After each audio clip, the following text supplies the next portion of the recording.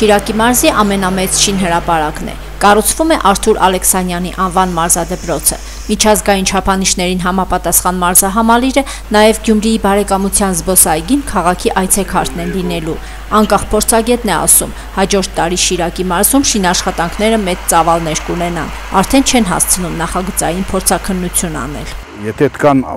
ծավալի աշխատանք մի անգամից շինհրաբարակ բացվի, մենք այդքան աշխատող չենք ունենա։ Հիմնականում դուրս են գնում որակյալ կադրեր։ Մենք մեզ մոտ ընկրկում ենք հիմնականում նրանց, ովքեր որ մնացել են ինչ որ այլ-այլ պատճառներով չեն կարողացել դուրս գալ։ Այստեղ նույն աշխատանքը կենեին, այդ վարտադերենը պատճառ Ռուսաստան կաշխատեն մեկին 3, մեկին 5։ Մեծած աշխատանքով չեմ պահվարարվել, արդերգիր եմ գնացել, բայց արդ երկիրն էլ իր խնդիրներն ունի։ Քո հայրենիքից մեջը դու քեզ շատ լավ կես գաս գործը կա, կաշխատիս, Լավագույն շինարար մասնագետները վաղուց են արտագաղթել Գյումրիից։ Երկար տարիներ շինարարական ոլորտը մարզում անկում էր ապրում։ Ծավալներն այնքան քիչ էին, որ եղած փոքրաթիվ ընկերությունների համար դա ոչ թե աշխատանք, այլ զբաղմունք էր։ Մարզային շին կազմակերպությունների խնդիրները խորացան, երբ օրենքը փոխվեց ու մրցույթները դարձան համապետական։ Այսինքն դրանց մասնակցելու իրավունք ստացան ոչ միայն տեղի, այլ նաև մյուս մարզերի շին կազմակերպությունները դրսի կազմակերպություններ կան, երբեմն այդ կազմակերպությունները շատ էժան քներով են շահում այդ օբյեկտները։ Հետո իրանք անպատասխանատու են,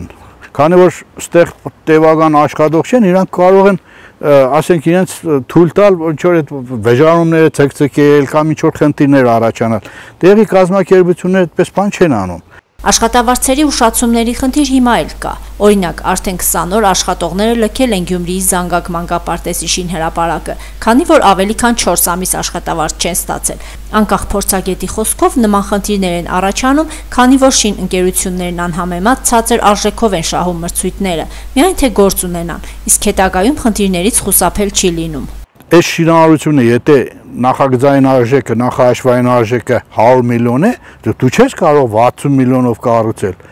Որտեղ ուրեմն մի հատ ինչ որ ֆոկուս պետք է անես։ Մրցույթ շահողի ֆոկուսն էլ կամ հին շինանյութ օգտագործելն է, կամ աշխատողին քիչ վարձատրելը։ Խնդիրներն ավելի են սրվում, երբ շինանյութն է թանկանում։ Ընդրության գործընթացը պետք է վերանայվի ու ավելի ոչ թե ասենք այն ցածր տնողին պետք է նայվի, այդտեղ մասնագիտական ամեն բոլոր հարցերում այդ մասնագիտական մագարտակը պետք է քննադատվի։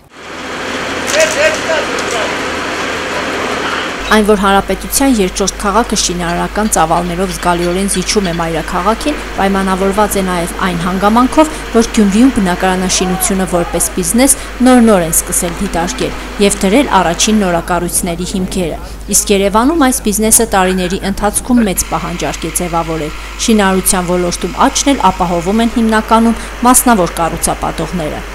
Գալա հերոստանկերություն Ռեգիոն 5+-ի համար։